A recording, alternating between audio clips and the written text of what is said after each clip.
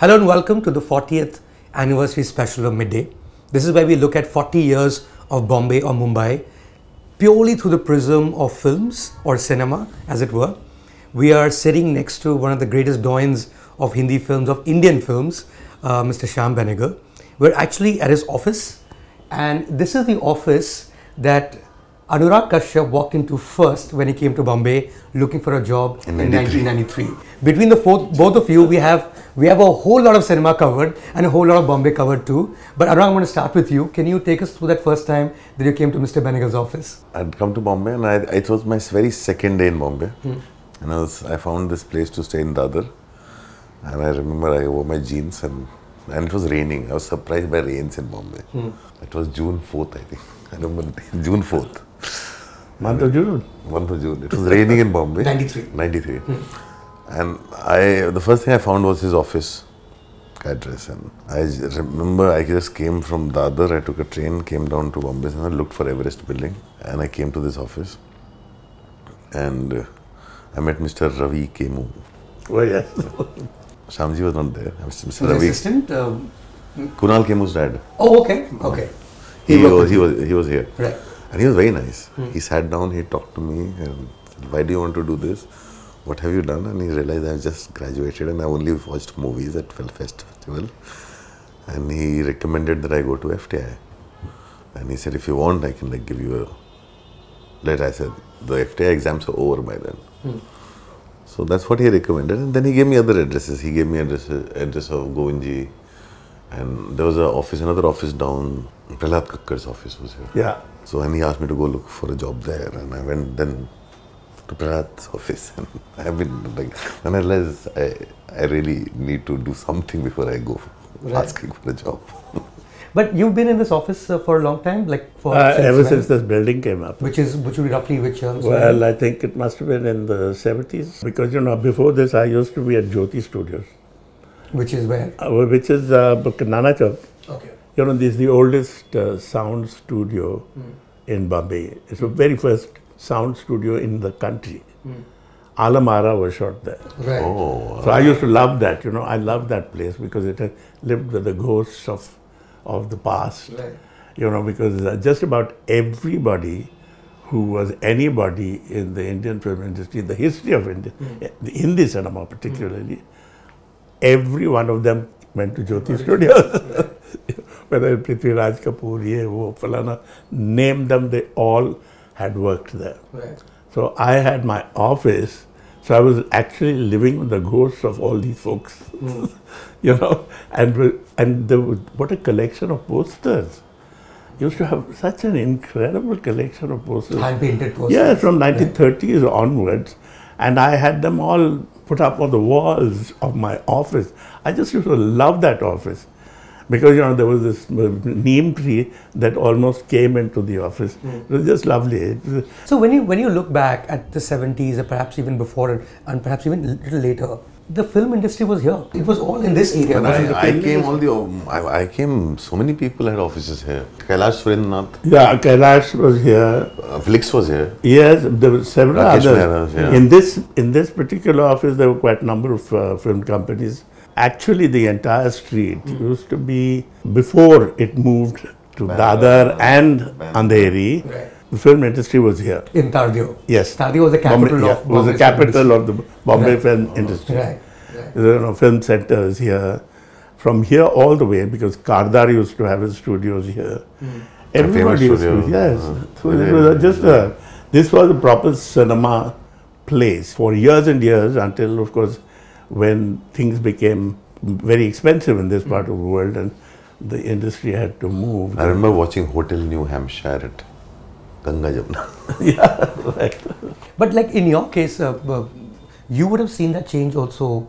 Uh, moving to Bombay in '93, perhaps seeing that whole Versova area. No, no. However, so area was nothing. There was It nothing, There was nothing.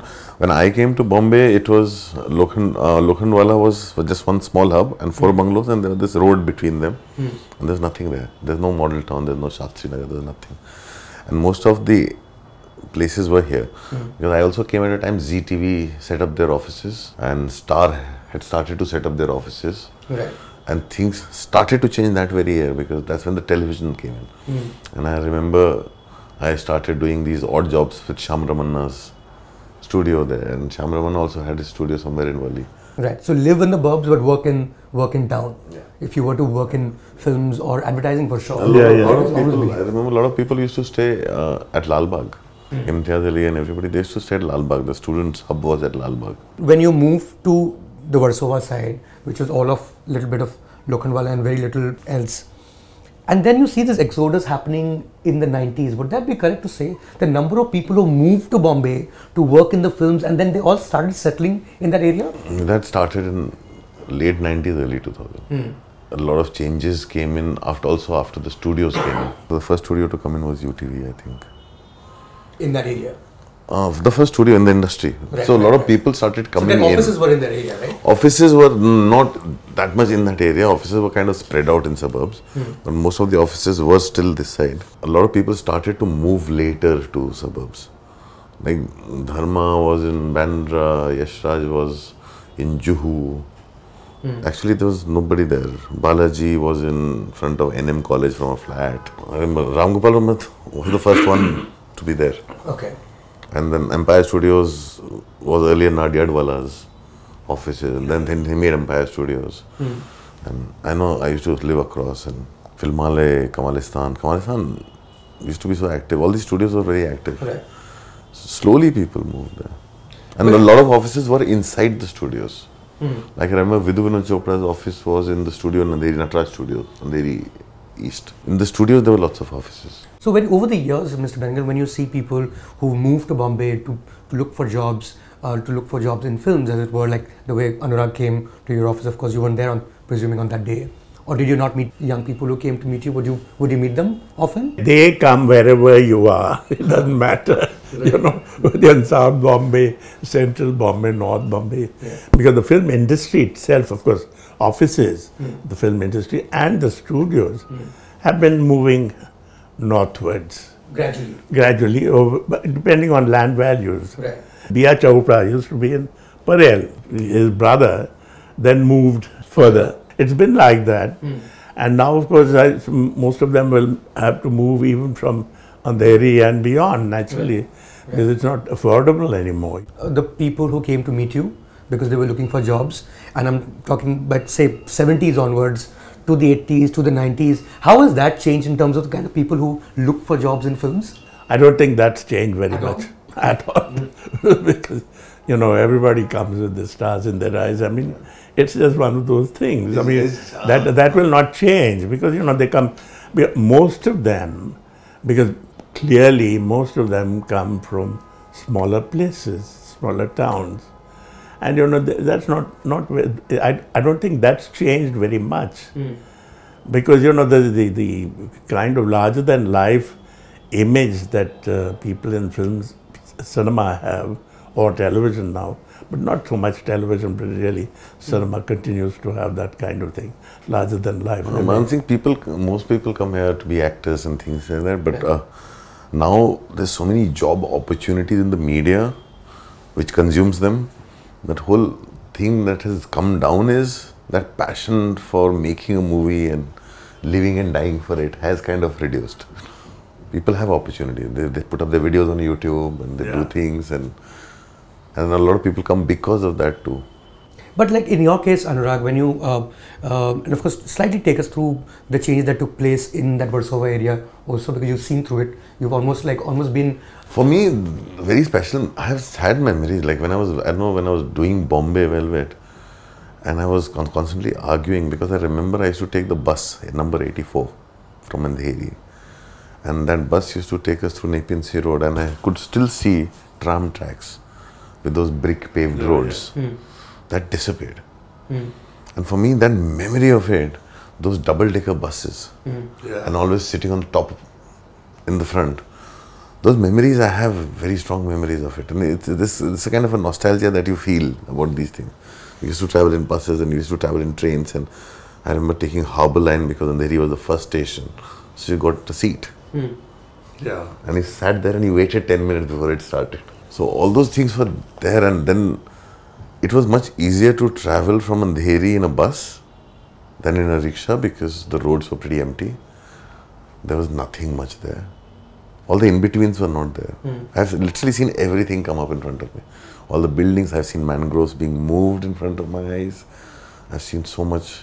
When you hang out for long enough in areas like Versova, you get a sense that absolutely everyone is from Delhi. Do you think there was a massive movement that took place sometime in the late 90s where people from Delhi wanted to move to Delhi, work in the films? A lot of people moved to Bombay after Shah Rukh Khan, which is a fact. Because there's a very strong theatre scene that was there across the country. And Shah Rukh used to do theatre and he used to do smaller roles in Bombay, in Delhi. So when Shah Rukh broke out in such a big way, I know for a fact that post Bandit Queen, the entire cast of Bandit Queen moved to Bombay. Hmm. I also remember Piyush Mishra writing a play about it hmm. called Jinhe Jaldi Thi Wo Chale Gaye.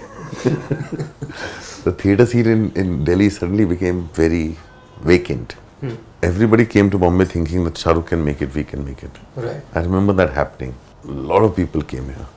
And a lot of filmmakers also started coming because Tigmanshu Dhulia was assisting Shekhar Kapoor and was casting for him.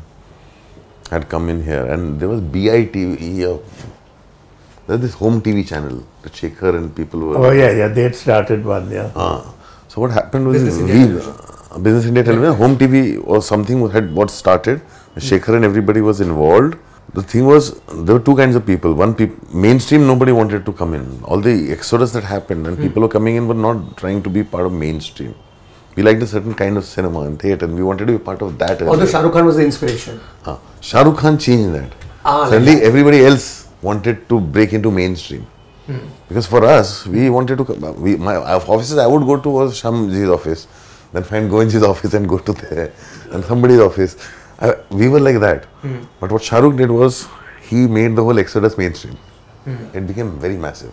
In your case, Mr. Benegal, like now I'm thinking about, so I'm looking 80s onwards. By early 80s, you were an established filmmaker with the films that you'd already made, which was very hard to define in this in the, in the scheme of Bombay or Bombay cinema as it always existed. Yeah, they used to call it parallel cinema. Parallel cinema, like do you, I didn't know. there, Never names given to it, is there one that you prefer more than the other? There's parallel, there's I new wave, there's uh, I you hate all of hated that. I hated that term. Right. Because you know it, was, it became a kind of caste system. Hmm. You know, by calling something belonging to parallel cinema uh, and alternate cinema, Hmm. Right. all this kind of Or thing. that- that the mon- because this terminology Huh. automatically meant Hmm. that if you if you were part of the parallel cinema Hmm. movement, it meant that nobody came to see your films. You know, that was the reputation that you developed. And Even when the uh, reviews came in the press, you know, even if they were kind of saying that your film was a good one, etc., they would, they would, you know, there would always be this little line there saying this is not for uh, the general public. That's it. Kill your film instantly. अच्छी है देखो मत यार You were categorized as you're like the Shyam Benegal type. Yeah. Right. You're, you're that kind of an audience. What kind of movies you want to watch? It was it was kind of like you had to explain yourself. Like if I was say, for example, I remember if I was a Shyam Benegal type, that means I need another job to sustain myself. yeah, right, right. But I'm, I'm curious to know how, like, you know, of course, things change uh, in due course of time. But say 70s, when say Amitabh Bachchan is the big movie star, and you know Manmohan Desai is a big director, as it were, and as masala as it gets. How did they? How did that industry look at someone like you? Like, wha- did you interact with them at all? Like, I know that Karan Johar interacts a lot with Anurag Kashyap, but was there something of the sort happening at that time? Well, to some extent, it did actually, because I had a, you know, what we're doing just now. I had a similar kind of uh, conversation with Manmohan Desai. Okay, how did that go? Oh, it went quite well actually. Right, right. Because he, he, he was a very good humored, uh, wonderful person, you know. So it was, it, and it got a two page spread. Sure. you know, whatever paper it I came, and I I don't remember now. There's a lot, lot of stories uh, because I was when I was doing my whole, I was doing a research on a film that got abandoned, which was based on Guru Dutt, for, with for Shivendra Singh Dungarpur, and I met. I used to doing a lot of research, and then I, when I found out because that became my argument hmm. When everybody used to tell me go to FTI, I said Shyam Benegal never went to FTI. that was an argument. But you taught there though. You taught at FTI, right? he, he taught He that. did. Yeah, but I think he never went to film school to learn filmmaking. So uh, that was our big inverted commas. Like you know, that was the excuse to not go to study filmmaking. but uh, because and also because Guru Dutt's son or, or son was your producer and partner. You, Yeah, yeah. No, you he's making movie. brother. But his brother, Guru Dutt's brother. Brother. And he was he was the one who told me the story. Uh, Guru Dutt's son, who just passed away recently, he told me the stories of their early days and when they were doing ads and when, because I was very curious about how they went around making their first film, second film, and how they used to go and do that, Right. and how the industry perception was. Because there's only one phase I remember between 81 and 84 or 85 when Vikram Singh was the editor of Filmfare. Yeah. That's the only time when The film fairs were yeah. when when when the, when the so-called parallel industry went mainstream, in a way, those four years, and when Nasir got the award, and Yeah, right, all right, people right, got the award, and that's when Filmfare was about, and it went back To being what it is. to being what it is. Right. No, the point I was trying to get at, Mr. Benegal, is uh, I mean, I'm sure there's been interaction in terms of a conversation of this nature, but when you are working in what is being disparagingly called parallel in the same city as there exists that massive mainstream blockbuster masala, which was going like haywire in any case uh, back in the 70s. Uh, how did they look at you? Like, how did they look at your work? How do they how were you perceived by people like are you creating something completely of your own that you are not part of the industry as it were you're not part of that mainstream film industry No, I don't think there was any such uh, feeling seriously. You know, because you you were not seen as a threat. Ah. You know, the main thing is that if you're seen as a threat, of course, you you, you pose some kind of Right. challenge to them. But you were not seen as a threat at all. So you could be, I mean, you could, they could be very patronizing. Yeah. Also, it was like it was more resentment. Ki if filmmakers like Shyamji didn't exist, then all the other awards could have also been asked other than box office. so the resentment like for, national mil jata the resentment for right. for respect some awards maybe. But in your case it's very different, no, Anurag. Like in your case, it's more like a you were like this wild child who enters films, who is you know looking to be you know looking for that validation from the film industry, which is not. I was get. I was very aggressive. Right.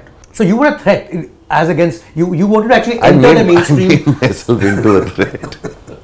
I don't think I was because you know my initially my career started because I was not a threat, which is right because hmm. I was available to do any job for anyone for free because I was learning. Hmm. I wanted to learn to when I wanted to figure out that I can do it or not. Not more than learning was also like do it or not, or if I had to correct myself along the way. Right. So till then I was available and doing everything, and I never posed myself as a threat to anyone. Hmm. I was available to do things for free, and that's how I broke in. Hmm.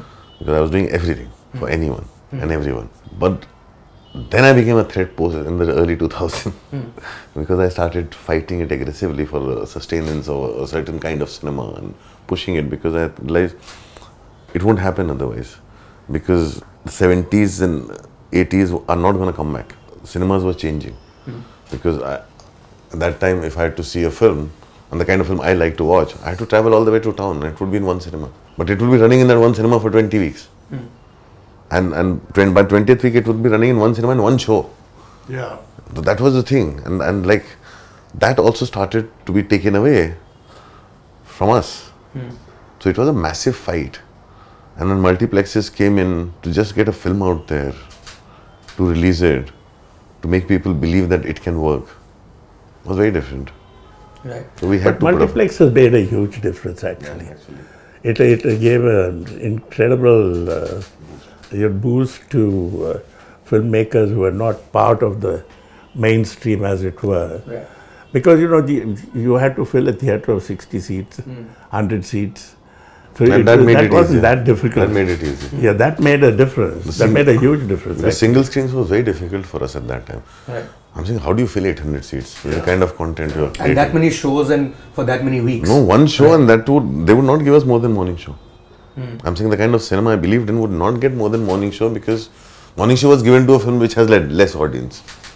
In fact, I remember Or late night show, if 10:30 you, show. If you if you couldn't get an audience, 80% audience on the weekend, you were out. You're out on Monday, yeah. No question. Right. Even if you were 75%, and but here I'm feeling, uh, you know, you're getting 750 people Right. sitting and watching a film in a thousand foot, uh, I mean, thousand seat cinema, you'd still be out. You know, this, was- thi- that, that was the most uh, disheartening part, actually. Mr. Wenger, in your case, uh, there's that one big leap that also happens in the 80s, which is quite similar, and, and correct me if I'm missing, and we can talk about it a little later on how different, different or similar is it from what's happening now, is when television uh, enters like every home uh, by the mid 80s, and that changes a lot for you too, as a filmmaker, as a as a communicator, as an artist. Of course, it did. It made a huge difference. You see, for one thing, people who'd never seen my films Started to watch. started to see those films because they were coming into your home. Right. You I'm didn't saying our first access to his Yeah. films was on television. Yeah, from television. As a kind of filmmaker making films for the cinemas, hmm. you know, that was a phase hmm. when not too many people had seen my films. Hmm. But they actually started to see my films on television. Right. You know, that's where you saw the, I mean, the, you developed an audience. And most people would have seen Ankur, Nishant on TV. On, on television. Right. My, my first first Shyam Benegal movie on screen mm. was actually Suraj Ka Saathwan Ghoda. yeah, but that was. Right. Suraj Ka Saathwan Ghoda. Right, which is 2000. 1982, 83, yeah. Oh, okay. When? Later, Maybe. much later, much later. 92. 92. Ah, 92. Sorry, yeah, yeah, I'm, I'm yeah. sorry. 92. Old age is getting to me. 92. 92. Because uske pehle to it was like your father telling you to watch these films. Hmm. Television pe aari yeah. dekho. right, right. And for our introduction was he made the TV series Bharat Dekho. Yeah. I know that we're using terms like parallel and mainstream, etc., etc. But in your case, just as in Anurag's case, you were making commercial films because you had producers who were putting in money, hoping for a return. More yeah. in most of the cases. Yes, because you know, except for uh, Suraj Ka Ghoda. Hmm and one Mammo, for instance, Yeah. except for these two films, the rest of my films were made by regular uh, finance. Right. You know, private finance. I mean, you probably made India's first crowd-funded film. Manthan would be yeah, what would you that call was, a crowd-funded yeah, it film was. now? It, it really was the first crowded, Right, crowdfunded film. But you know, the others, except for the, as I said, these two films, which Hmm. were NFDC, rest of them were privately financed. So naturally, they had to cover the cost. There was no way I could have remained a filmmaker Hmm. if they didn't cover co- costs, you know. So that was a, always a challenge. how strong was that fight? With say with your financier. Well, I don't know. I never thought about it because you know we- at that time there was also somebody they used to disparagingly call my films middle of the road films. so you know somebody came and told me, I said you're a middle of the road filmmaker. I said if I walk on the middle of the road, I'll be run over. Damn it! What are you talking about? Middle of the road? What's that supposed to mean? But was it was the pressure strong though in terms of recovery that a film should get? It- Oh because yeah, you're not I mean, that that pressure's always been there. I mean, it- when, when was it not there? Probably it was there then. It's there now. It's always been there. Any filmmaker will feel that pressure. right. The only thing is that you know you, you really have to. I think it's it's the strategies. You know, the, you work on different kinds of strategies. You you really have to be very very clever. Hmm. I personally Right. think you know to get your way. Right. But, but, you know you can't. protect just- your talent. yeah, you, You have to, you have to, You fight, have to. You There's have to no other manipulate. way. You have to do so much Yes, truly. because you have to say things that people believe in to protect your own vision. exactly. It's not easy. Can you think of an example of where you've been very, very clever and gotten away with it? Well, I'm. I don't know whether I was, but but I think I was in in uh, when mm, certain kinds of films that I made. Um, certainly with um, with Blaze in the beginning, of course, there was no problem. I mean, when I made Ankur, for instance, because it was it was actually a very popular success, and it did extremely well. It won all kinds of awards, all that sort of thing. So that automatically gave me a kind of uh, you know the, the my producers trusted me. Then I make a second film which collapses in a heap. Then I make a third film which also collapses in a heap. But but then you know those were the better films. I mean, according to me. Right, right. Yeah, you know, there were better films because also the I was also developing a kind of uh, uh, cinematic language of my own, uh, which was happening, and uh, when they were not uh, succeeding at the box office, you know. So uh, b- b- these things were constantly happening. But uh, what do you do? I mean, but it's- so that's when strategies, Right. you know, all kinds of things, you try out different kinds of things so that at least you know that you, the kind of films you want to make, you can continue to make them, you know. I mean, uh, uh, one strategy and that one could perhaps uh, attribute to you, which has worked for Anurag as well, is you created a parallel star system. So there was a Nasir and there was a Shabana and there was a Smita. You, you mean these people became they became identified with a certain kind of cinema. So then th- that became a star system of its own, didn't it?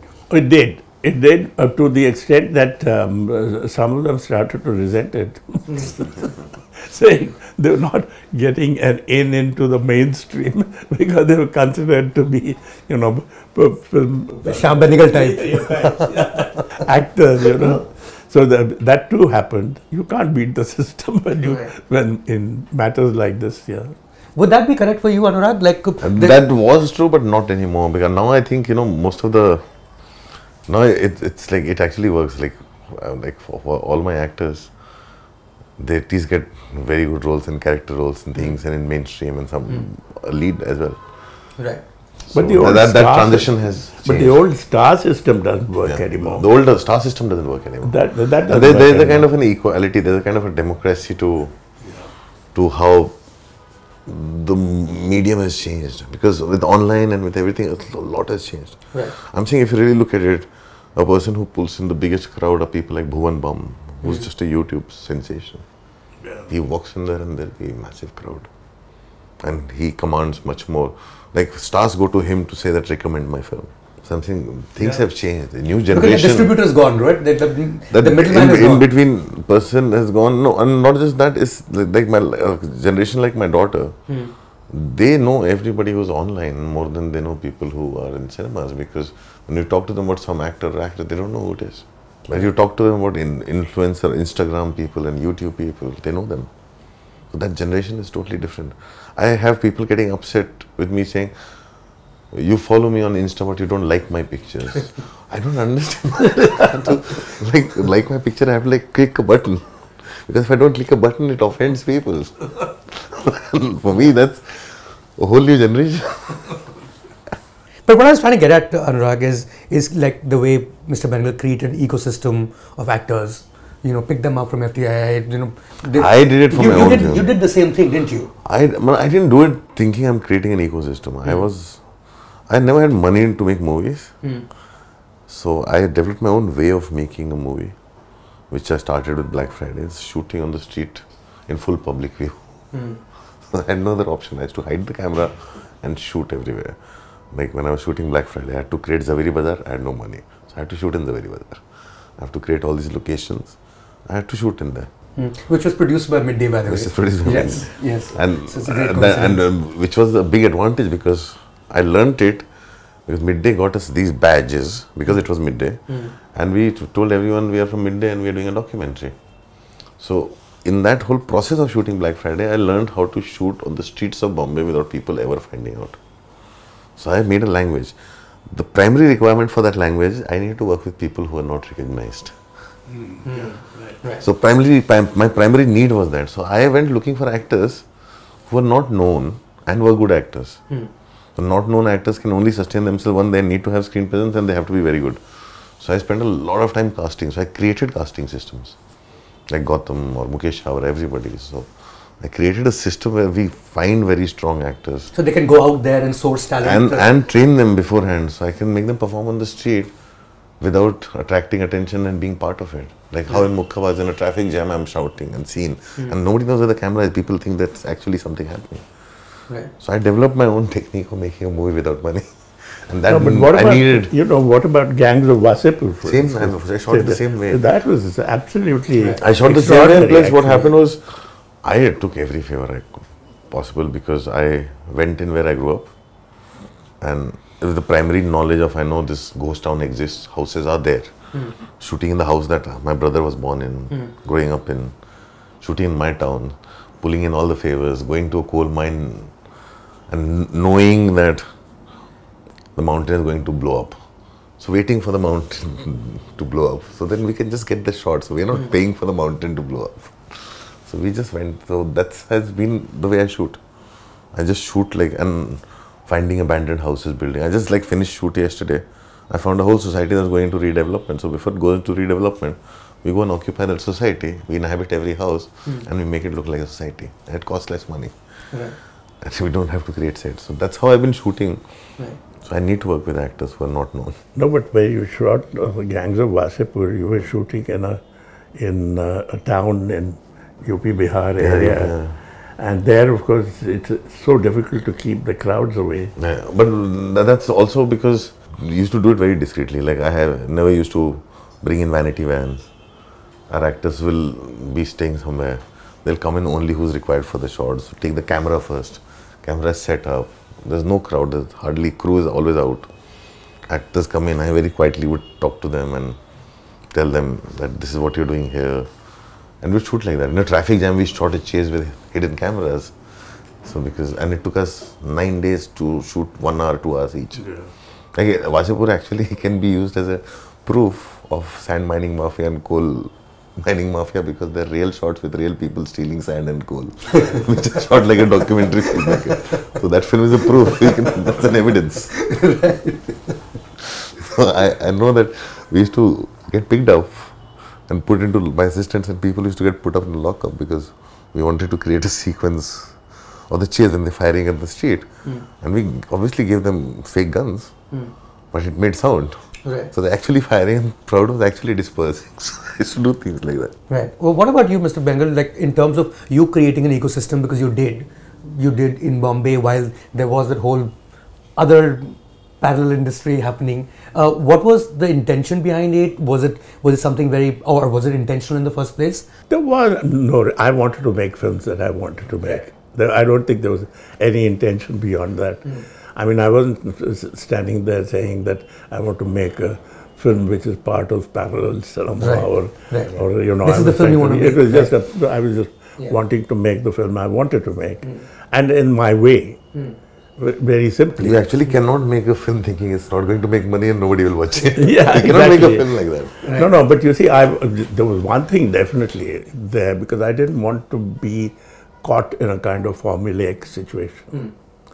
You see, because you know the, the, there is a certain formulaic construction of uh, what is considered to be, you know, The masala film. commercial Right. film Right. You know, your, the storytelling with the kind of songs interspersed, all that sort of style of making a film, and where you don't really consider uh, characters as much as plot points, you know, all that sort of thing.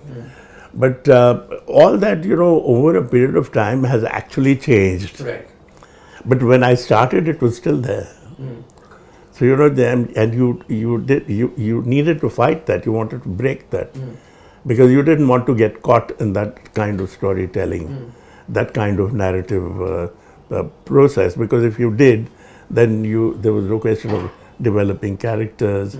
or So many things, you know, you and said you had to pay so much attention to the plot and uh, all the plotted points, and everything had to be very neatly put together. All that was there. So, you know, but but now, of course, meaning all that over a period of time, automatically, I don't know how it changed, but it changed nevertheless, because today nobody thinks.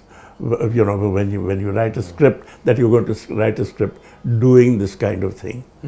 You know, we the- you must The have so much film, as humor, so much this, Yeah, so yeah. much that. For, But that was the case back then. yes, it was Right. very much there. No, That- that still- I think pretty much still also we think of like uh, the market pressures are such to market the film. You know, if your film has songs, it gets free airplay time and marketing time. yeah. We have to figure out ways to get the film out there. Hmm. And what is actually the, new platforms and things, it helps us to make all kinds of films today.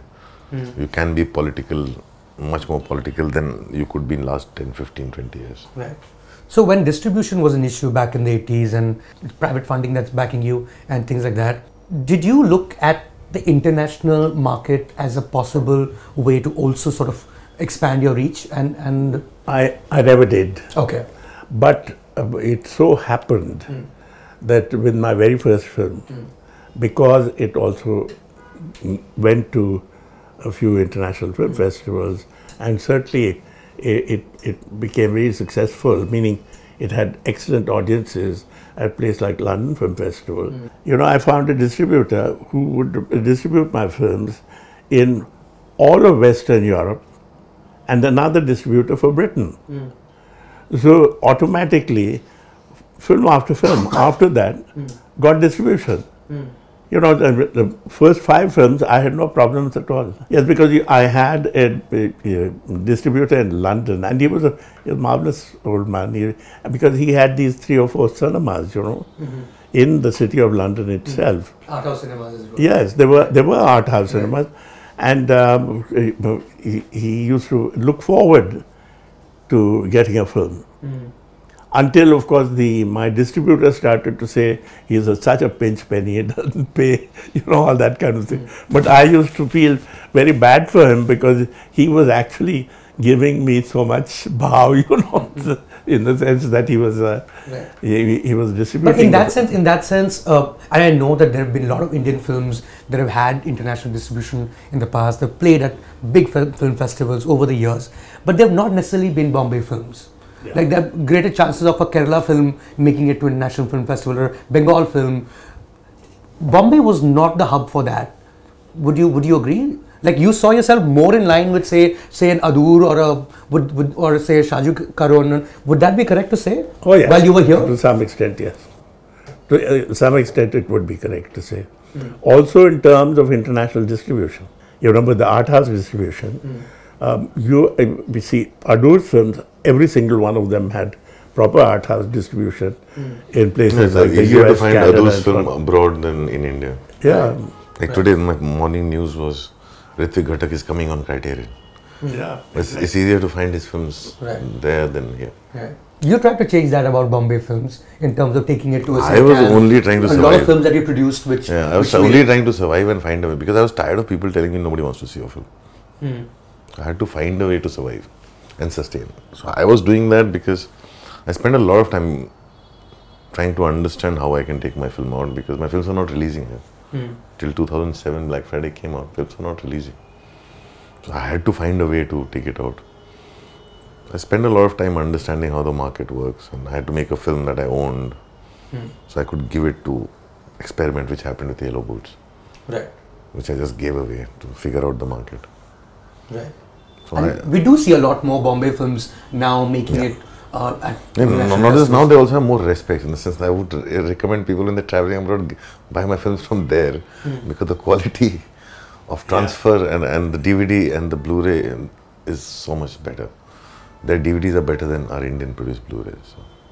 Is that something you've also noticed over the years, Mr. Benegal, in the past 40 years, about how we might be a little more world class than we've been? And I mean, what was considered mainstream is becoming a little more like palatable to anyone who may not just follow formula movies. Yes, but then you know you also have uh, to, today, for instance, you have uh, things like uh, Hotstar, Netflix, all, all of these uh, things that have come, and they have a whole bank of films.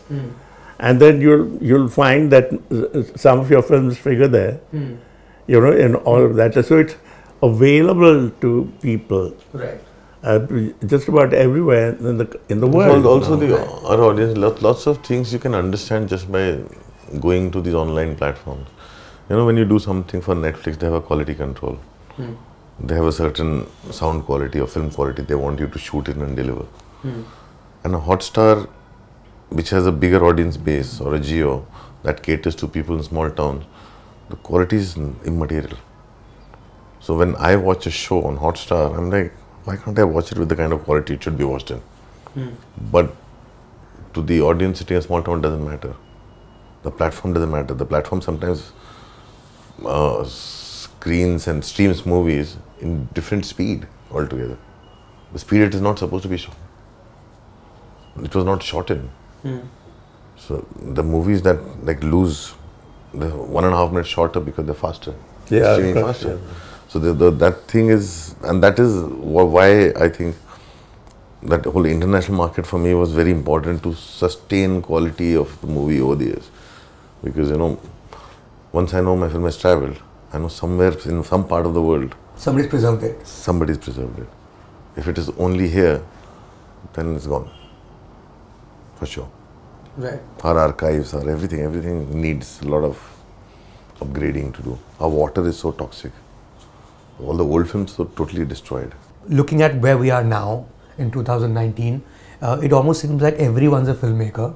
Everyone can make a film, and they really are. I mean, the number of videos uploaded on a second by second basis across platforms, let alone OTTs, but YouTube, Vimeo, etc., etc. I mean, do we even need to see Bombay anymore as a center of filmmaking? Do, does it really need to be here anymore? It's not here anymore. It's Huh? everywhere. No, it's not actually here anymore. It's not hmm. here. All that's changed. A lot of the Hindi language films are not even, don't even come from Bombay. Right. I think most of them come from Delhi or wherever, you know, I mean, so that's how it is. Bombay city doesn't look like Bombay anymore. Forget the movies. But you do you do need like a like a film industry to sort of source talent at will because you get a cinematographer, you get an editor, you get the actors. You can But it's no, no, it's, it's the world has changed a lot. I've been like been like literally seen three film shoots back to back in the last two months, hmm. where the film cinematographers are coming in from Poland or somewhere else. Sound guys come from somewhere else. Hmm. It doesn't matter. And I said, how did you guys meet? I said, somebody recommend. I asked online about this work. Somebody recommended some other cinematographer. He shared his showreel online, and we never met. We just saw each other showreel, shared scripts, and we realized we want to do work with each other. And the man has not even come to Bombay or Delhi. Hmm. He goes straight from Warsaw to Jalpaiguri. Yeah. so which I'm saying that. Right. So you know the things happening like that. And just saw the whole shoot. The producer is Bengali. Hmm. Film is in Hindi. Hmm. The filmmaker is from South. Cinematographer is from Poland. Sound designer is from somewhere else. And everybody has met online and come together and they're making a film. But cameramen, a lot of cameramen, large number of cameramen, particularly from Central Europe, Eastern Europe, Right. because you know there's not enough work there. Right. And they have good film schools. Yeah, and excellent, quality. Good film excellent film schools. Right. Excellent cinematographers. Yeah. Right. Like our gully boy, Jay is trained in Prague. Uh, He's just come back from Prague Film School. And when I met him for Raman Raghav, and a lot of people who come from there because they're all mostly free there. They don't have, and if you see Hollywood credits, the best cameramen are all from Central Europe, Yeah, yeah, yeah. They're all from there, and mostly or or Latin America. Okay, last question. Uh, if you were to look back at 40 years, because we're looking back at 40, Bombay 40 years, if there were, if you were to pinpoint a turning point when it changed, when things changed, it could be anything. Um, of course, if you're personally directly related to it, even better. What do you think that would be? It could be a film. It could be a moment. It could be invention of something. It could be There was television that changed things hmm. in the 80s. And television went national. That really made the huge difference. Internet made it global. right. My, I have survived because of, like he says, but I if there, there wasn't television, we wouldn't have seen his films. Right. If people did not download and pirate my movies on internet, they wouldn't have seen my films. Exactly. But what I find most disappointing is I'm talking to two filmmakers, and one is calling internet the biggest invention, the other one is calling television. I mean, it, it is still films, right? Yeah. Like, w- what happens to the charm of the big cinema? Is it, Yeah, but is it that's, over? that's, a, that's like a, already? no, not at all. That's a choice I make. I go watch films on in cinemas. Right. But the thing is, I also find my aud- I have, can't deny the fact that I found my audience through online piracy. Right. But you know, I'll t- s- say something. I, I prefer to see films now at home. You do. Yes. Okay. Because I have a large screen. you know. And, At home also we have made and, yes, because you know there, the there, there, there's a classic uh, kind of uh, distance that you must keep between the screen and uh, you know where you see the film. For it to be immersive enough. Yes, it's two and a half times the diagonal of the screen. That's the distance you must be from the screen. Now, that gives you the kind of image size that you would normally get in a cinema hall. Hmm. When you go to the cinema hall and hmm. see. So now I can get that in my own home, hmm. and the quality of image is infinitely superior than what I can, what I get in a cinema hall, and the sound, I get everything. I mean, the surround sound, the works. So I don't need to go to the cinema hall. So, but I see it there. But I get the same, same quality. What I actually miss hmm. is the audience. The collective experience. Yeah. Because when you go to the cinema hall, Right. you have people sitting around you, Right. watching. Right. Here, at most, you'll probably be with your family. Yeah. Or by yourself, right? Yeah, all by yourself. And that, there's something you lose on account of that.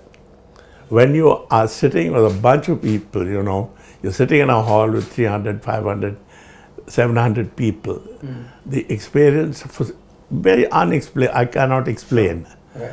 But it's a kind of thing, it's a kind of collective experience of what you're seeing that you, the only thing that you actually miss, and, but that's a lot. I really hope that turning point does not happen, Yeah. that cinema cease to exist. But I can tell you one thing, both Mr. Benegal and Anurag, that you guys have been, both of you have been turning points for Bombay and Bombay films. Thank you so much for doing this. Thank you so much. Thank you so much. you.